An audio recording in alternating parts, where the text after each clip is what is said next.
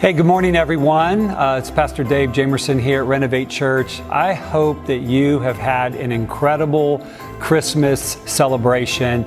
Uh, here we are, the day after Christmas, uh, and we have been focusing on this whole idea of making room.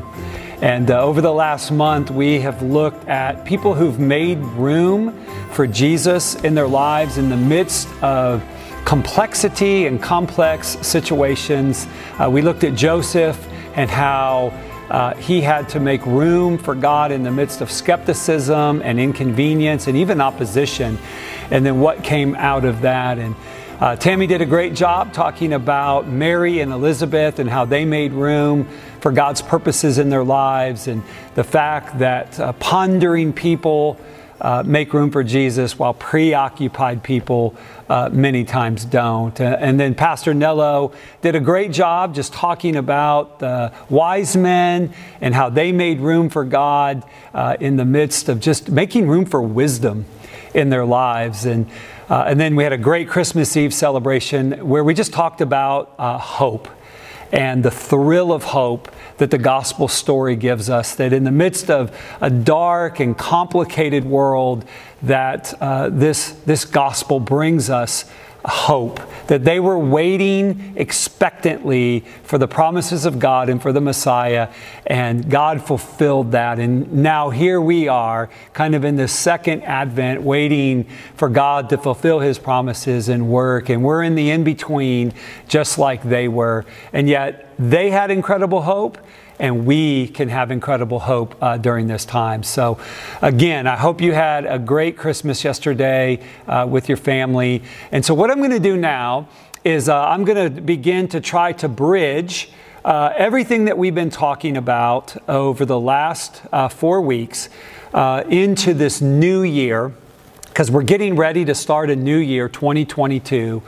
And uh, I want to just focus on uh, a couple things about how we can practically make room for God in our lives. Because again, we hear these stories of Joseph and Mary and Elizabeth and Simeon and Anna and uh, the, the, the, the, wise men and all this. And, you know, okay, yeah, they made room for God in their lives, but what does that look like for you and I?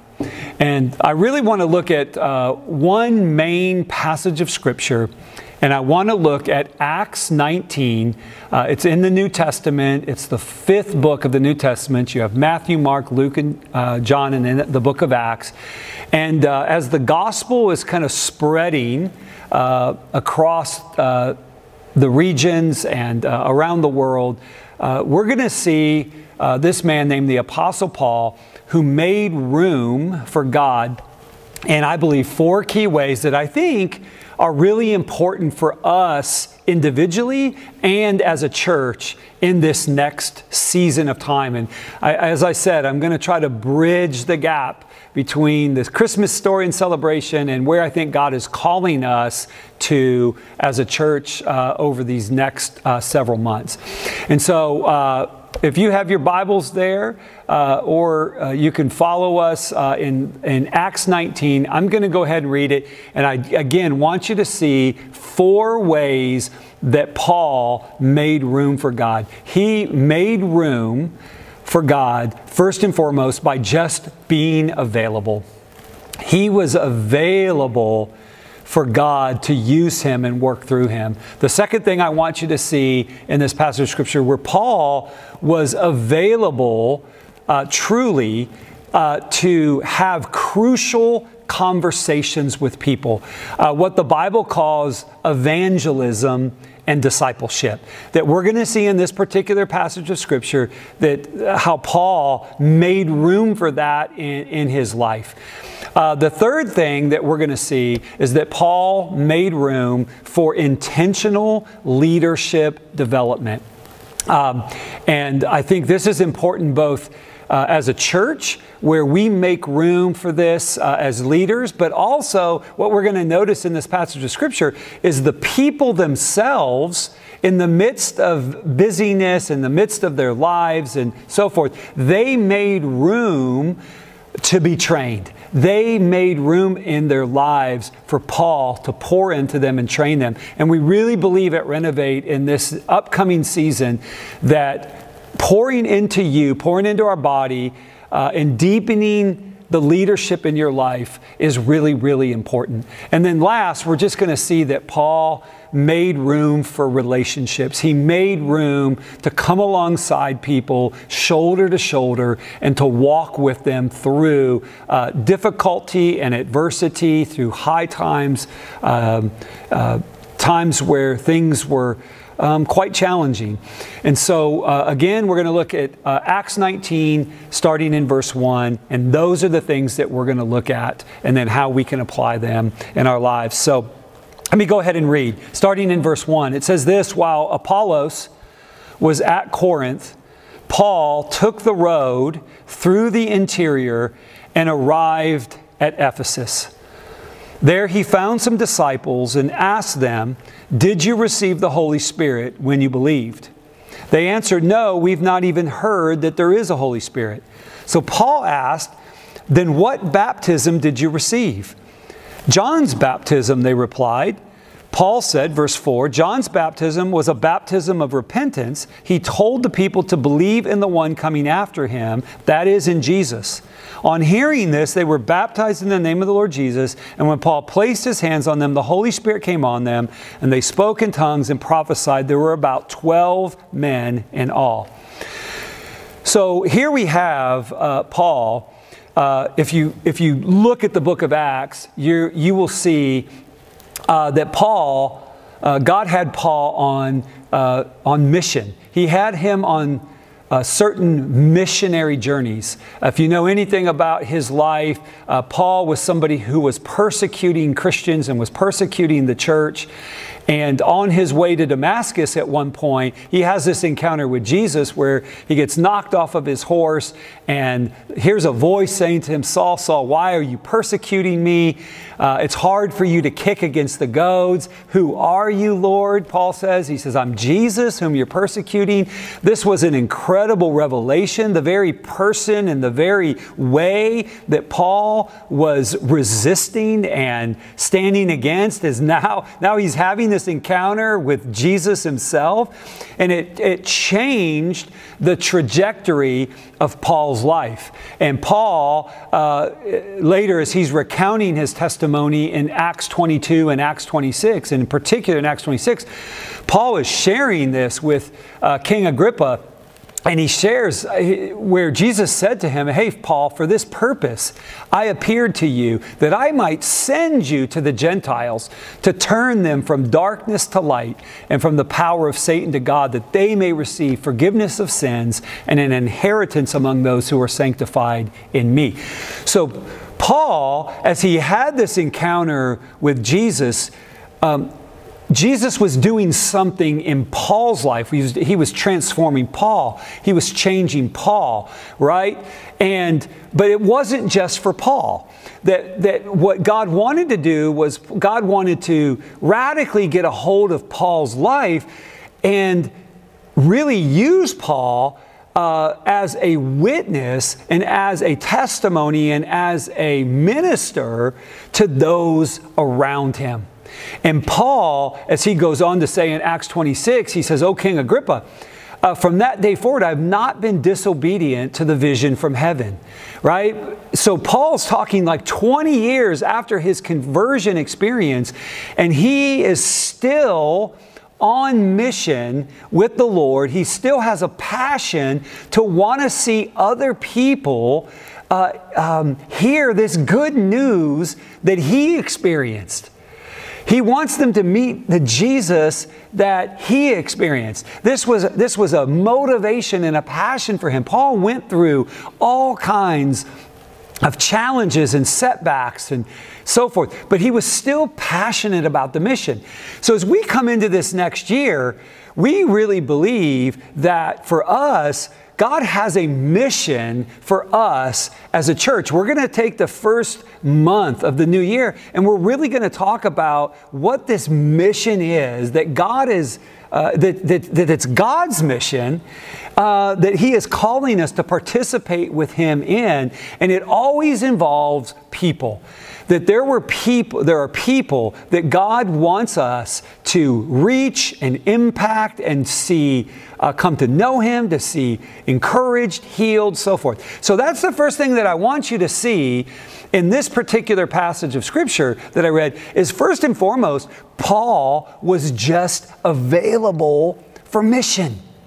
Look at it again. Let me read it as we start in verse 1. Hey, while Apollos was at Corinth, Paul took the road through the interior and he arrived at Ephesus. There he found some disciples. So, guys, you can just see in this passage of Scripture that, that Paul was available for the mission of God and the purposes of God uh, in his life. And listen, God has priorities, and God does have a mission, and God has uh, purposes. He really does. Let me read this to you guys. It's in another part of Scripture in Philippians 2 19 through 22, where, where uh, Paul is writing to the church at Philippi and he's uh, talking about, uh, hey, for us to have the same mind that Christ had, who did not consider equality with God something to be God, but he humbled himself, right? Jesus himself made room. Jesus came down, right? And, and we're called to emulate that. But look at what he says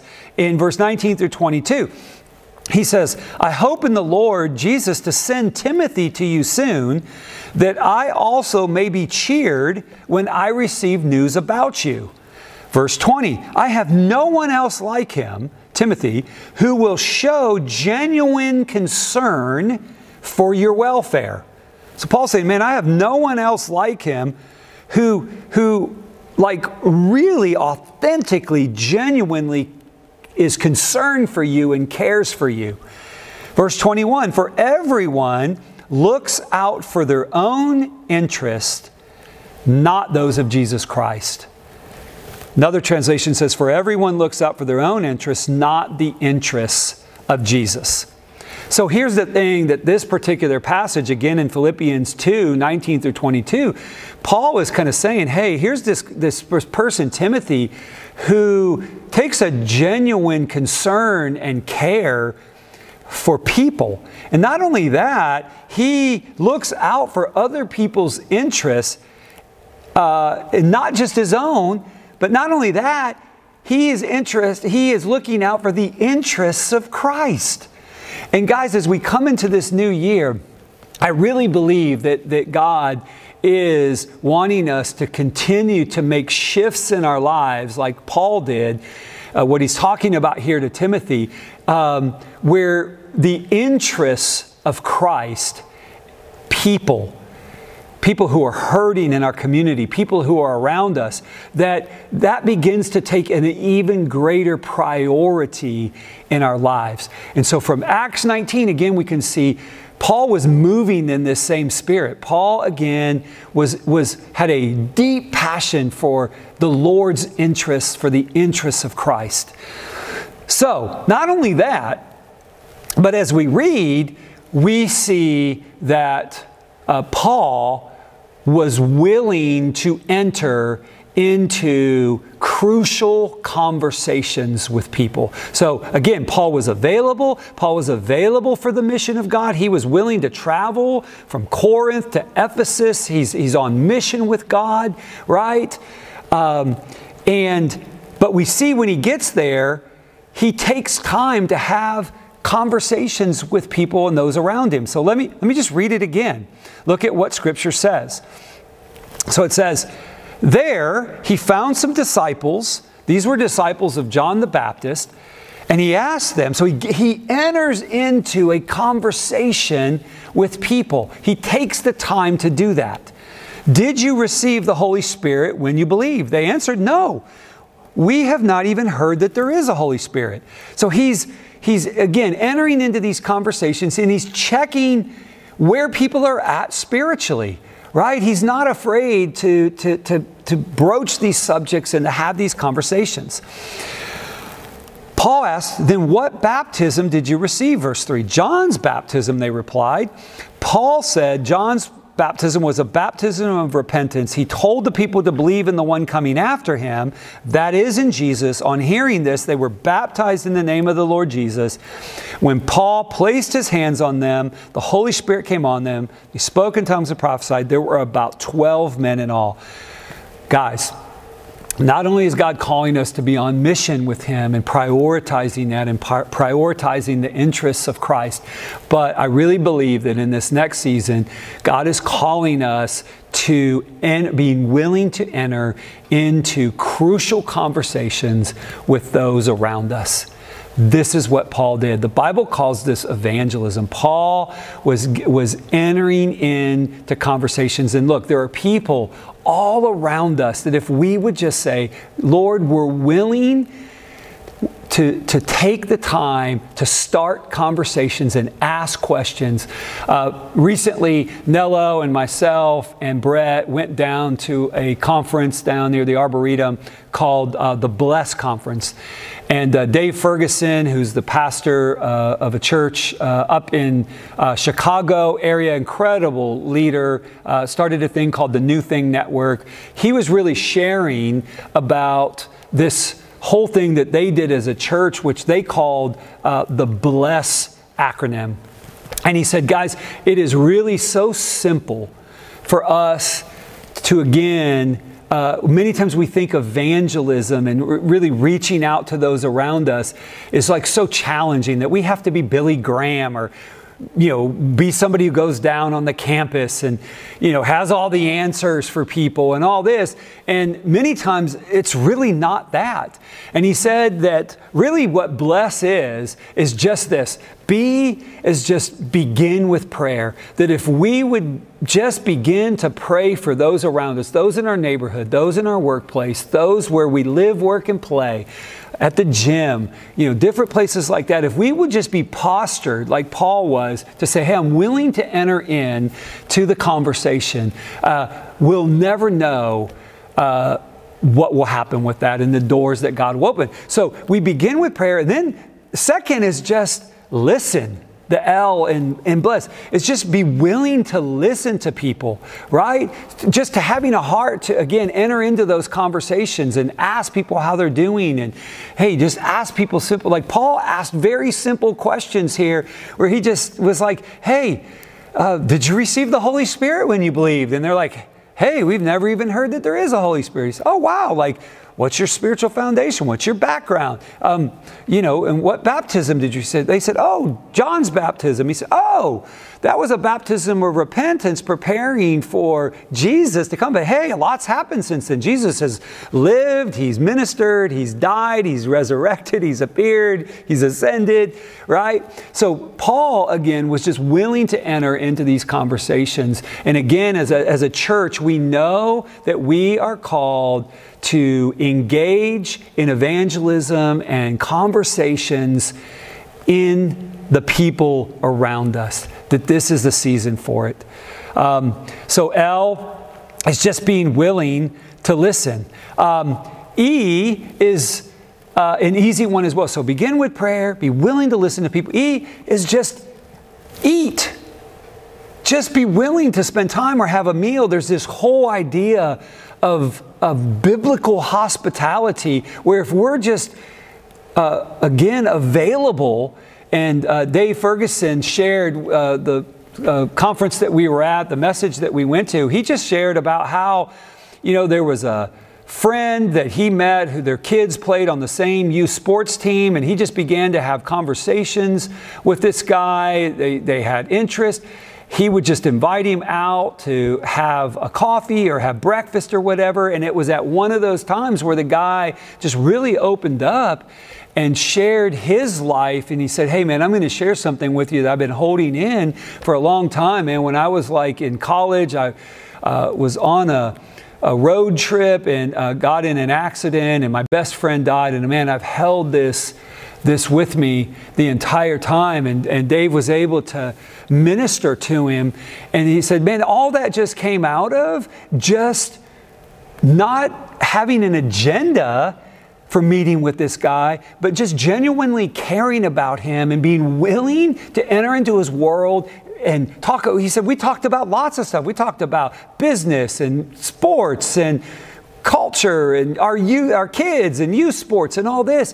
But it was just my willingness to spend time with him and be and have hospitality. What would that look like for you and I if we just made room and and uh, somebody outside of the norm and invited them to our house to have dinner with us and spent time with them and just got to know them. We would never know what conversations might emerge or what they might share with or what they're going through.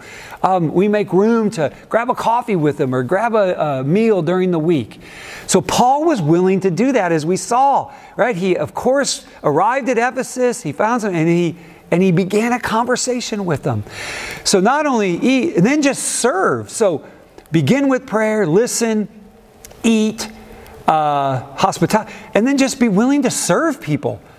Like I'm telling, if we will just genuinely care about people and be willing, look, one of the greatest ways we can show the love of God to people is just taking an interest in their lives and being willing and available to serve them. And then last, he just said, share the story and share your story. That we don't have to have all the answers, but Guys, we do have a powerful story to tell about uh, just like Paul did, that motivated him. Paul had this compelling story that, hey, listen, there's a God in heaven who loves you and created you and knows you and cares about you, that came down because He loves us. He was willing to go to the cross for you and I so that you and I could receive forgiveness of sins, that we could have, be reconciled to God, that we could have eternal life, that we could know God and walk with Him on a daily basis. Like, we have this incredible story to tell, and we have our own stories to tell. The power of testimonies. So, you're going to be seeing testimonies all here in this next part of this season because testimonies are powerful. So, Dave Ferguson just said, Hey, just if we're willing to bless people, begin with prayer, be willing to listen to them, eat with them, serve them, and then just be willing to share the story. It's amazing what God can do. Because we're going to see as we continue reading here what happens as Paul was available, Paul was willing to enter into crucial conversations. Watch what happens as the story goes on in Acts 19. So it says this. So we, we left off, there were about 12 men in all. Paul entered the synagogue and spoke boldly there for three months, arguing persuasively about the kingdom of God. So he goes to the religious people, he goes to the church people, right? Paul is arguing persuasively for, for, for the, the person of Jesus, the message of the gospel. But some, verse 9 of them, some of these people became obstinate. They were resistant. They refused to believe and publicly maligned the way, capital W. So here they are, they're criticizing Christianity right? They're, they are um, rejecting and resistant to the message of the gospel. So Paul does something. He shifts here, and look at what Scripture says. So Paul left them, he left the synagogue, right? Um, he took the disciples with him and had discussions daily in the lecture hall of Tyrannus. Verse 10 This went on for two years so that all the Jews and the Greeks who lived in the province of Asia heard the word of the Lord. God did extraordinary miracles through Paul so that even handkerchiefs and aprons that had touched him were taken to the sick, and their illnesses were cured, and the evil spirits left them.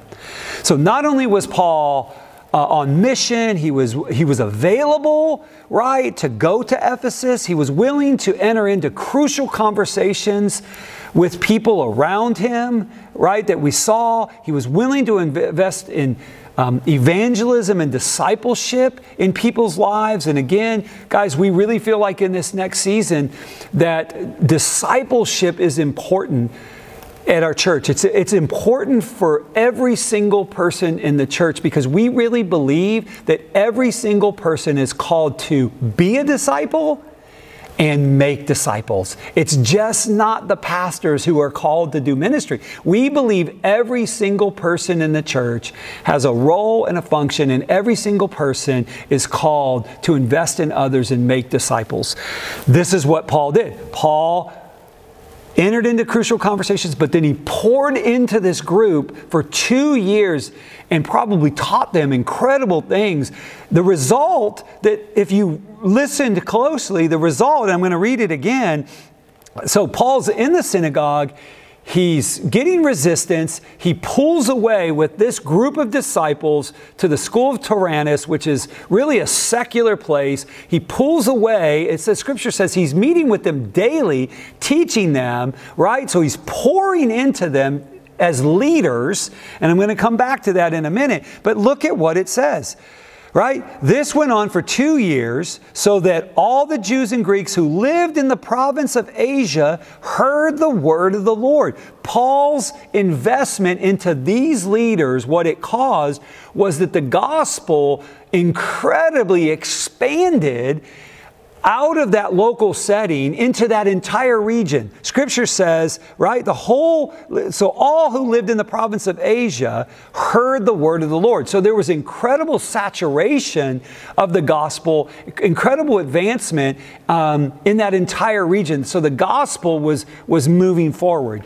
So, so again, not only was Paul again on mission. He was available. Not only was he willing to enter into crucial conversations with people but paul was willing to invest into training leaders. And, and again we feel like in this next season of time and you're going to hear these things roll out we're going to ask every single um, person at Renovate to make yourself available for leadership, training, and development in your life.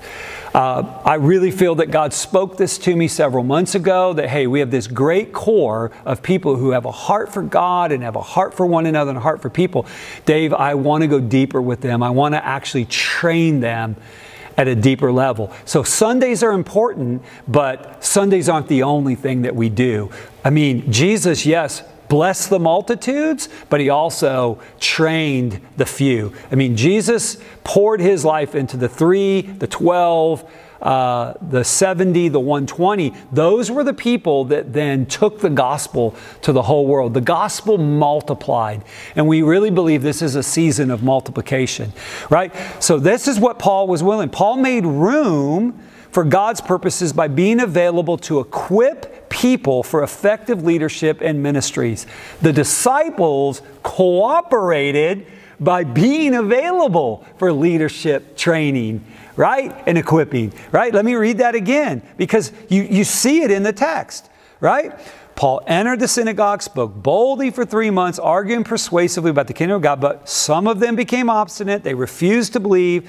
Sounds like our culture, publicly maligned the way. Paul didn't get discouraged. He didn't throw his hands up. He said, okay, we're going to shift here, and I'm going to pour into these leaders and these disciples and multiply ministry through them. So watch what it says. So Paul left them, he took the disciples with him, and had discussions daily in the lecture hall of Tyrannus. Daily. Guys, we're not even asking for that. we're, we're like, these guys, they were making time daily. Like, I know some underground churches in China and stuff where people literally are. Uh, they, they daily get together for prayer and the word and to learn and to grow and so forth.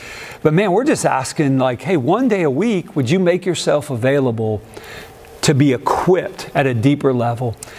And then last, uh, Paul really made room for relationships in his life and for care of people and care of believers. So again, he, he made room for God's purposes uh, he was available, he was on mission, he made room for conversations, he made room for evangelism and discipleship in his life, he made room for leadership development, and the disciples themselves made room to be equipped and trained. Again, what was the byproduct? What happened because of all this? the entire region of Asia heard the word of the Lord. Man, this is powerful, right? It, the gospel rang out from there from these individuals in these lives. Um, but then last, he, he really did. He made room uh, for relationships. And I, I, just feel compelled to share this that, guys, we've all come out of a very, very difficult season. Um, and I think we've continued to be in a challenging situation. I think that uh, people many times are weary.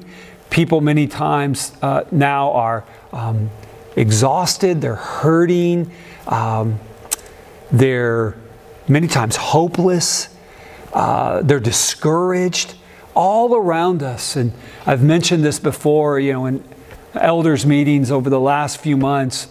Uh, some of our elders have said, you know, hey, you know, the reality is, is that, you know, most people to, today are frustrated and most people are discontent and most people are exasperated because of everything that we uh, have gone through. And I really believe that this is, a, in, even in a greater way, that this is a season and a time for us to come alongside one another and come alongside people and be willing to walk arm in arm with them, shoulder to shoulder, to, of shouldering burdens and loads that people are carrying. And again, you see this in the Apostle Paul's ministry. I mean, he said at a another point in scripture in Colossians 1, he said, Hey, you know, I make it my aim, my passion. You just see this relational dynamic in Paul, this commitment to people that he carried, right? He said, Hey, man, I make it my aim, right, to. Uh, see Christ formed in people. And he said, you know, and fill up in my flesh the, the afflictions and burdens of Christ. Like you just see that, man, Paul, he cared deeply about people. He was willing to walk through challenging and difficult things with people and invest in them. And guys, we really think that these uh, four things are, are the things that God is calling us to emphasize as we come into this new year. We really believe that He's saying, hey, you know what? I want a greater availability out of, out of Renovate and out of your lives. I, I, I, I want you to be willing to enter into crucial conversations with people um, for the purpose of evangelism and discipleship. Would, will you be willing to? I'm wanting you to set aside time for you to be trained at a deeper level in your walk with God and your call and your leadership and the ministry that's on your life. Will you be available for that? And then, last, would you come alongside people? In this season in a greater way, uh, not be disconnected and not be fractured, but in a greater way, be willing to walk with people through difficulty and hardship and disappointment. Um, this is what the church is called to do. And I really believe that as we focus on these things in this next season, um, on the mission of God and reaching people and pouring into people and loving people and training leaders and releasing people in a greater way, um, that we're going to see uh, God do incredible things in this next year, in this next season of time with us. So I encourage you, uh, go back, read Acts uh, 19, uh, verses 1 through 11 there. Um, let me just double check. Yeah, 1 through 12 and uh, meditate on that, see those themes in that particular passage of Scripture. And uh, I hope you're uh, ready for it, encouraged by it.